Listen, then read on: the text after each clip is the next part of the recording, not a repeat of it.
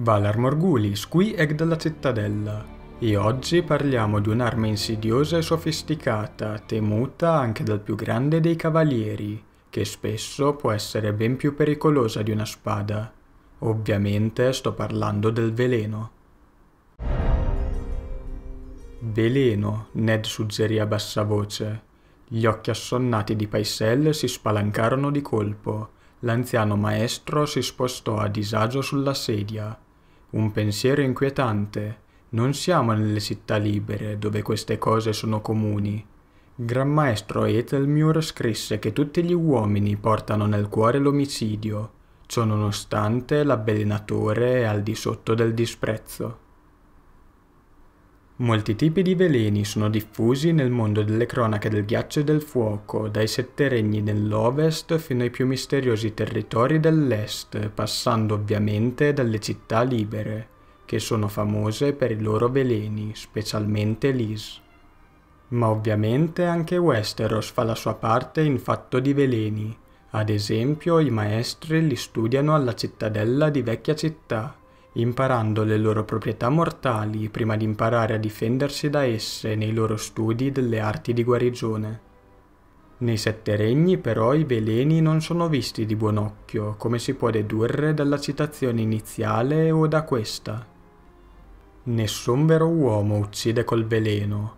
Al Mot Kailin i diavoli di palude avevano scagliato frecce avvelenate ai suoi uomini, ma c'era da aspettarselo da quelle abbiette creature Serri era un cavaliere, di nobile nascita.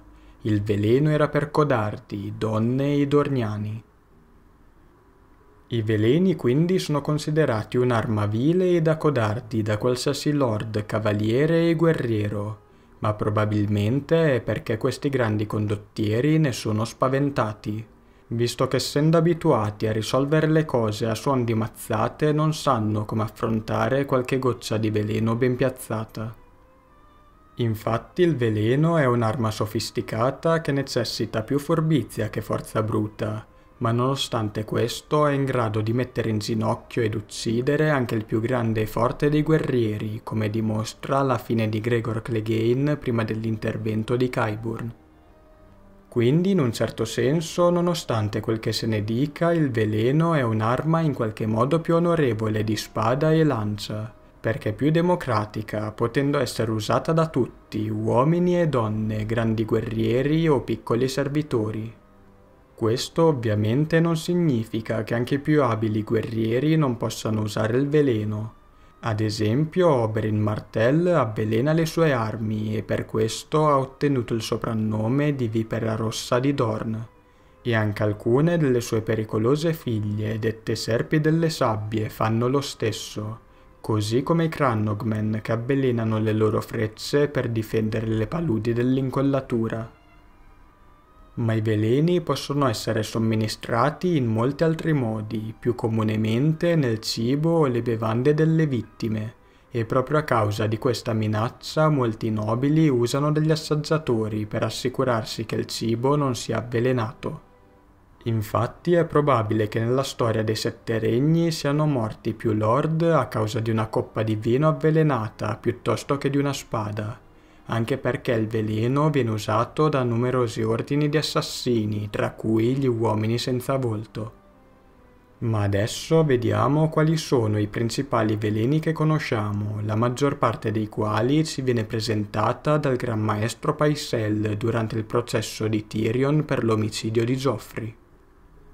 Sul tavolo erano collocate parecchie piccole ampolle. Paisel fu lieto di identificarle l'una dopo l'altra. Essenza grigia, disse con voce anch'essa tremante, estratta dal sangue di rospo. Ombra della sera, dolce sonno, danza del demone. Questa è occhio cieco. Sangue di vedova è chiamata quest'altra a causa del colore. Una pozione crudele Sigilla la vescica e il retto di un uomo, facendo annegare il malcapitato nei suoi stessi escrementi. Questo è flagello di lupo, qui c'è il veleno di basilisco, e queste sono le lacrime di Lis.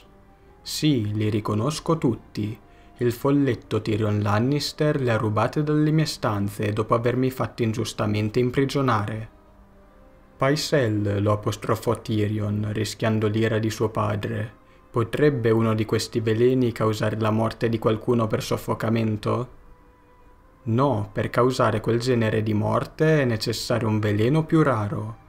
Quando ancora ero un ragazzo apprendista alla cittadella, i miei insegnanti lo chiamavano semplicemente lo strangolatore. Vediamo ora di aggiungere qualche parola in più su alcuni di questi veleni, a partire dal fatto che come al solito la traduzione italiana è piena di errori, visto che l'essenza grigia in lingua originale detta Grey Cup in realtà deriva da un fungo velenoso e non dal sangue di un rospo. È per questo motivo che di solito traduco personalmente le citazioni, come ho fatto con quelle precedenti.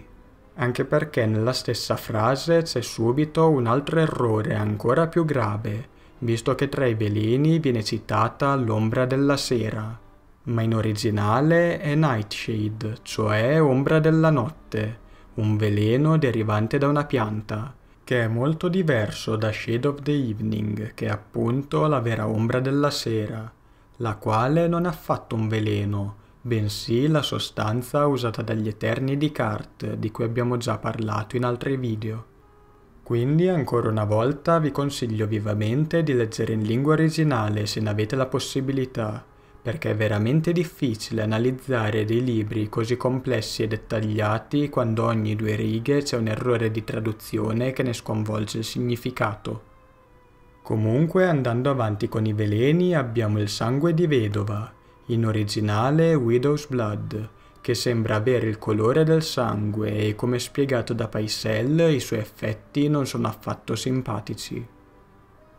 Passiamo poi al veleno di basilisco, che deriva appunto dai basilischi, feroci rettili velenosi che si possono trovare nelle giungle di Yiti e a Sotorios, principalmente a Punta del Basilisco, e un tempo erano numerosi anche sulle isole del Basilisco, come si può dedurre dal nome. È interessante notare che anche il sangue di basilisco può essere considerato una sorta di veleno, usato anche dagli uomini senza volto, visto che a detta dell'orfana dà alla carne cotta un odore gustoso, ma se ingerito produce una violenta follia, nelle bestie così come negli uomini. Un topo attaccherebbe un leone dopo un assaggio di sangue di basilisco.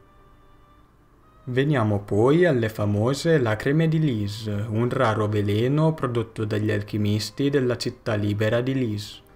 Esso è molto costoso e ricercato perché è trasparente in odore, in sapore e non lascia alcuna traccia, quindi è perfetto per avvelenare le bevande delle vittime, le cui viscere vengono consumate dall'interno.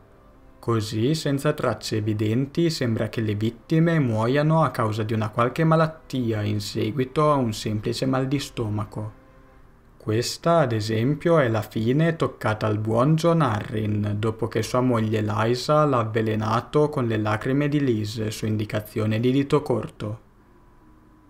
Dopodiché abbiamo lo strangolatore, un raro veleno fatto con delle piante che crescono solo su delle isole nel mare di Giada e la sua preparazione lunga e difficile è nota solo agli alchimisti di Lis, agli uomini senza volto di Bravos e ai maestri della cittadella. Il veleno si presenta in forma cristallizzata e di colore viola scuro, che corrisponde al colore della faccia dei malcapitati che dovessero bere del vino in cui è stato sciolto un cristallo di strangolatore. Infatti, come si deduce dal nome, esso fa contrarre i muscoli della gola delle vittime, impedendo la respirazione e causando una morte per soffocamento. Nella storia, tre persone che conosciamo bene vengono avvelenate con lo strangolatore, la prima è Melisandre, quando il maestro Cressen, dopo aver visto la sua cattiva influenza su Stannis, prova ad ucciderla offrendole una coppa di vino avvelenata. Ma sfortunatamente il veleno non ha effetto su di lei, che beve mezza coppa senza problemi, porgendo il resto a Cressen, il quale invece muore soffocato a causa dello strangolatore. La terza persona è ovviamente Geoffrey, che come ben sappiamo muore soffocato dallo strangolatore durante il suo matrimonio. Un altro importante veleno che compare nella storia è il veleno di Manticora, che causa la morte delle vittime non appena il veleno raggiunge il cuore, ma può essere alterato in modo da rendere la morte lenta e dolorosa. Ed è proprio ciò che ha fatto Oberyn Martell avvelenando la sua lancia con questo veleno di manticora modificato in modo da far soffrire il più possibile Gregor Clegane e vendicare così la morte di sua sorella e dei suoi nipoti. Infine ci sono veleni un po' più ambigui, generalmente usati come medicine, ma che possono essere considerati come veleni per via dei loro effetti. L'esempio principale è il dolce sonno, in originale Sweet Sleep, un medicinale dal profumo e dal gusto molto dolce che in base alla dose somministrata ha diversi effetti che vanno dal tranquillante alla morte. Infatti, come si ricorda l'orfana, pochi grani rallentano un cuore palpitante e fermano il tremito di una mano, facendo sentire un uomo calmo e forte. Un pizzico garantisce una notte di sonno profondo e senza sogni. Tre pizzichi producono quel sonno che non ha fine. E attualmente il dolce sonno è usato su indicazione di Peter Baelish da maestro Colemon come medicinale per alleviare i tremori e convulsioni del giovane Robert Arryn, meglio noto come Sweet Robin.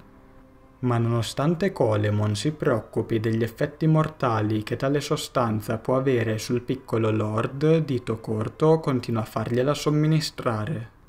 Ma dei piani di Littlefinger nella valle di Arryn potremo parlare in futuri video.